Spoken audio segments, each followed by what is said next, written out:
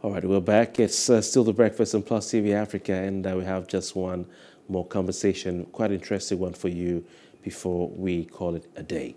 Well, the Nigerian National Petroleum Comp Company Limited, NNPCL, as it's known these days, um, has, has reiterated its commitment to ending oil theft uh, as production has increased above 1.6 million barrels per day. It's quite interesting um, statement by the NNPCL. Well, they re-echoed uh, their resolve at an event uh, yesterday, Tuesday, which was chaired by Nigeria's Vice President, Professor Yemi Osinbajo. Uh, the Vice President and stakeholders in the Nigerian oil and gas industry uh, discussed ways to solve the challenges facing the Nigerian oil sector. The meeting reflected on the progress recorded over the last 12 months following the introduction of the industry-wide security collaboration uh, for the protection of hydrocarbon infrastructure. We're glad to have join us this morning to analyze this um, development. Zakka Bala, um, Zakka Bala is an oil and gas industry analyst. Zakka Bala, good morning to you. Thank you very much for your time. Thank you and good morning to everybody. Right, all right. Um, production uh, is is on the up. You know, of oil, oil is on the up. Crude oil is on the up. Now we're hearing uh, 1.6 million to 1.7 million uh, barrels per day. What exactly happened? Well, you know, uh, some of us who are analysts have always explained it.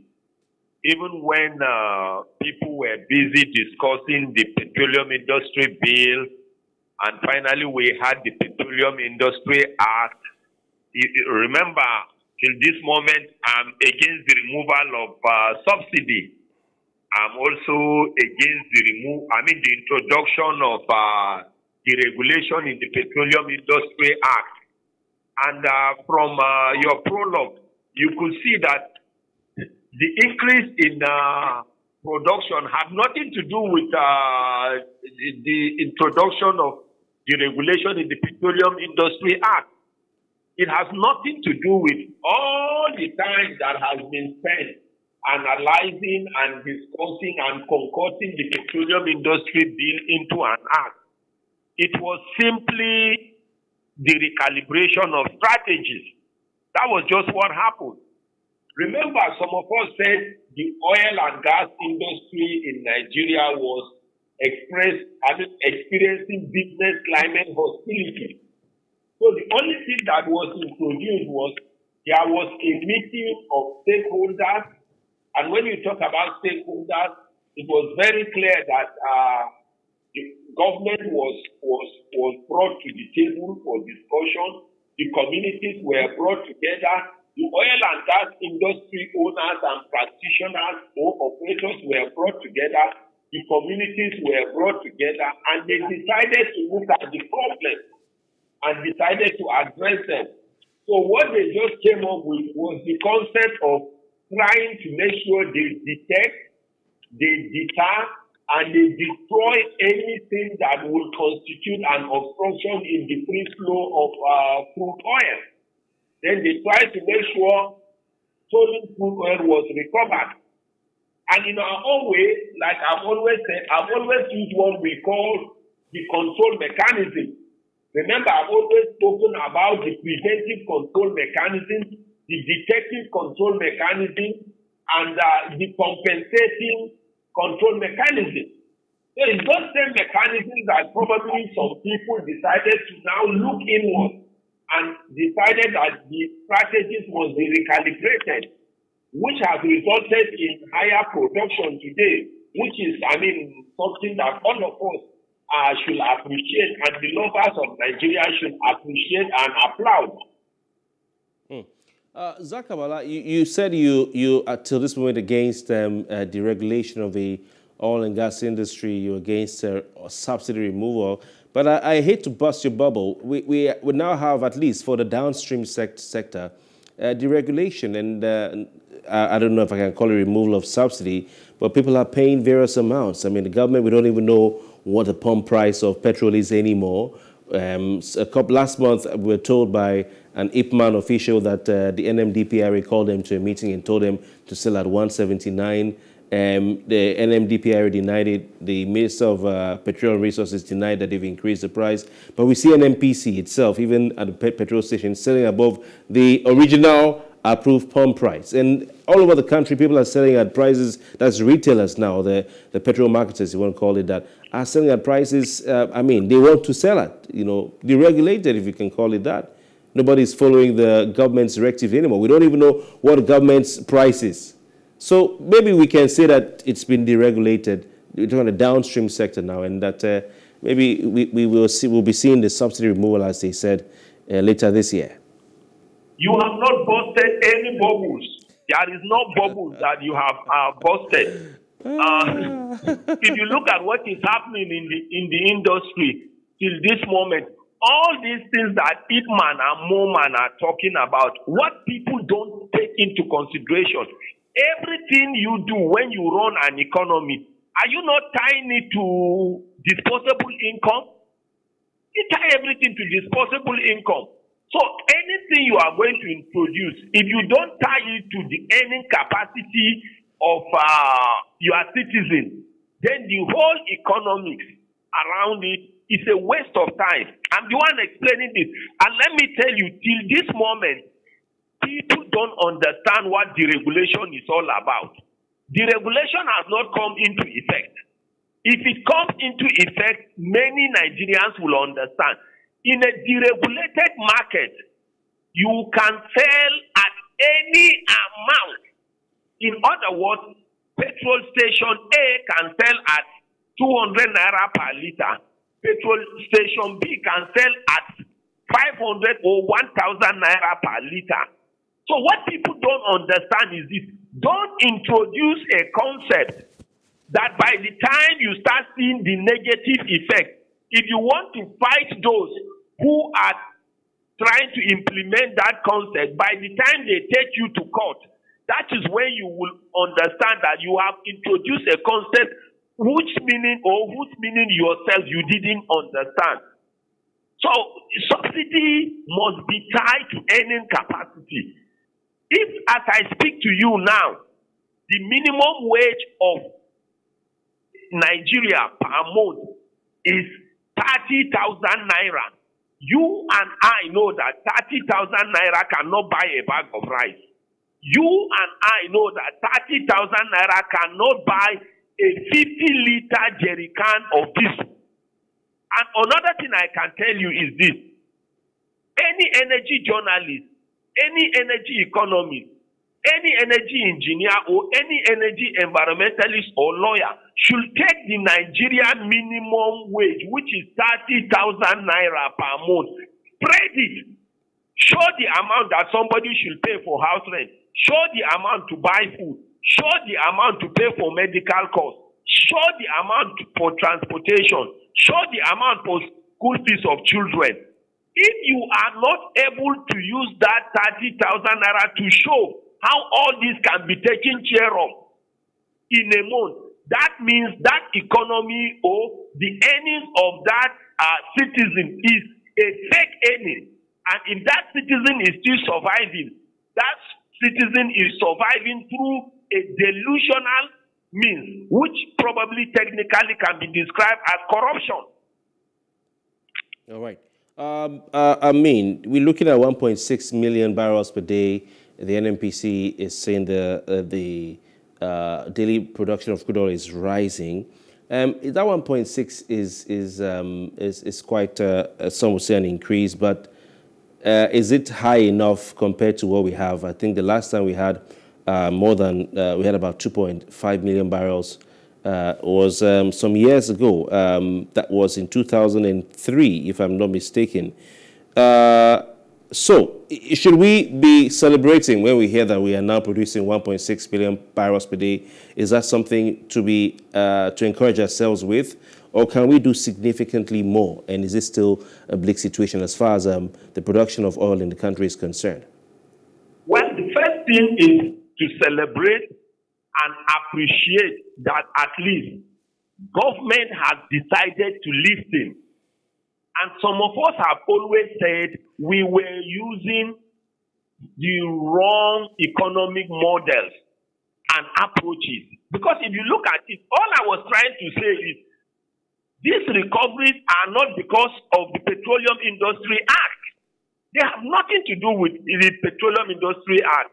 They have nothing to do by uh, because government wants to remove subsidy. They have nothing to do because government decided to introduce the regulation in the Petroleum Industry Act. What just simply happened was that Nigerians decided to sit down and recalibrate their strategies and they discovered that the oil and gas industry has been experiencing business climate hostilities. And one of the hostilities has been crude oil theft and vandalism. And they decided to tackle that. So by just tackling vandalism and crude oil theft, they were able to recover so much. Because as at last year, sometimes around probably July or so, the production fell to almost 1.6 million barrels per day. But that didn't mean that the oil companies, both local and international, were not working hard. But stealing and criminality and vandalism was the principal reason or were the principal reasons why the productions were low. So only one aspect has been tackled now, which is criminality and vandalism, and we can see how the production came up. The next thing we need to do now will be to look at other areas that have been affecting production and the interest and investment in the industry. So the next thing we need to look at now should be something like contract cycles. How long should it take for contracts to be awarded? In this case, licenses. What I mean when I talk about contract cycles, now I'm talking about whenever you come out with license for new oil fields or for renewal of oil fields, how long will you take before investors are assured that they can start investing? Because some of these investors, they always get these monies or funds from their shareholders or from financial institutions. So if they get these funds from shareholders, they are expected to pay dividends. Or if they get them from financiers, they are supposed to pay cost of debt. So if these contract cycles take a long time, it will not be in their favor. So if we can reduce the contract cycles, that will help. Another thing that needs to also happen is that there is a need to make sure cash call relationships are respected.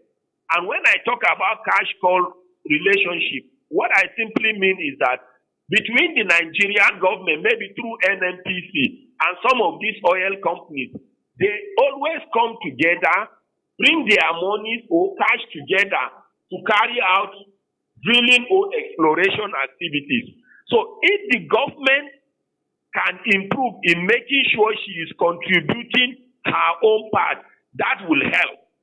Another thing we need to look at again is the general insecurity around the axis where oil and gas activities are activities are carried out.